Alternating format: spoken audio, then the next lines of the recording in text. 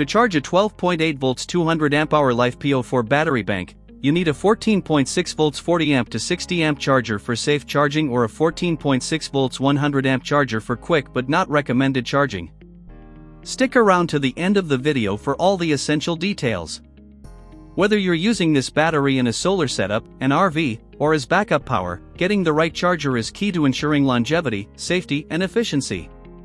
Let's start by understanding the battery itself. This 12.8 volts 200 amp hour LiFePO4 battery is a powerful energy storage solution known for its long cycle life, safety, and stable voltage. But, to keep this battery healthy, you need to pair it with the right charger. The battery has a nominal voltage of 12.8 volts and a capacity of 200 amp hours. This means it can store 2560 watt hours or 2.56 kilowatt hours of energy. But the size of the charger depends on how fast you want to charge it, and of course, how much charging current the battery can safely handle, that is the recommended or standard current. To select the right charger, two main factors come into play, the charging voltage and the charging current. Let's break down each one. For a 12.8 volts LiFePO4 battery, the charger should output a voltage in the range of 14.0 volts to 14.6 volts. Charging at the correct voltage ensures the battery is neither undercharged or overcharged. The charging current is equally important. For LiFePO4 batteries, it's recommended to charge at a rate of 0.2 C, which is 20% of the battery's capacity. For a 200 amp hour battery, this would mean a charging current of 40 amp.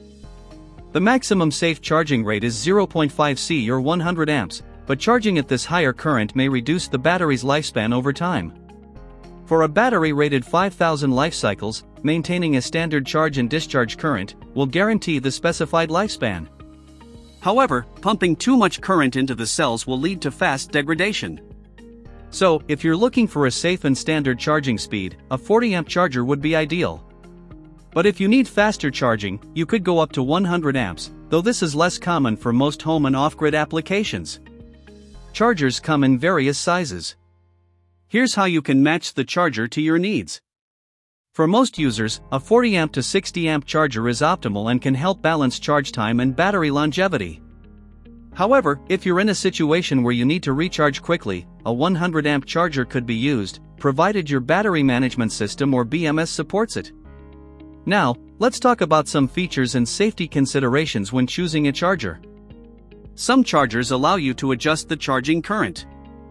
This is useful if you want to charge slowly to maximize battery life or fast when you're in a hurry. Temperature monitoring is another critical feature.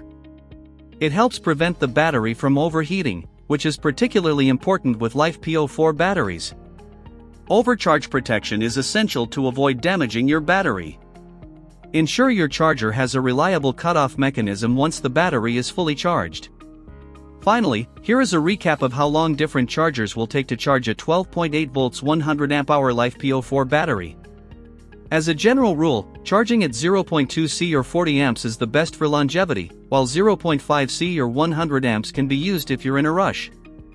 Always make sure that the charger is compatible with LiFePO4 batteries and that it has the necessary safety features. Thanks for watching.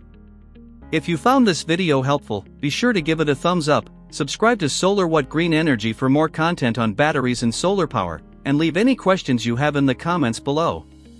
Until next time, keep powering your life with clean energy.